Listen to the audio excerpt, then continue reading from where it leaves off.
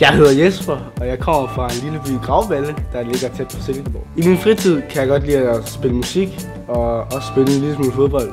Jeg valgte at tage 8. klasse på en efterskole, øh, fordi at jeg vidste, at jeg skulle have to år på en efterskole. Jeg ville blive for gammel til gymnasietiden, hvis jeg skulle have 10. med som et ekstra år.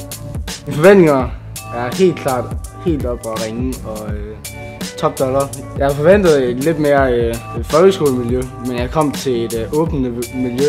Alle var glade for hinanden, selvom man var 10. og nogen var 8. klasse, så kunne man stadig godt snakke sammen, som om man var bedste venner. Få lov til at være dig selv, som den du er.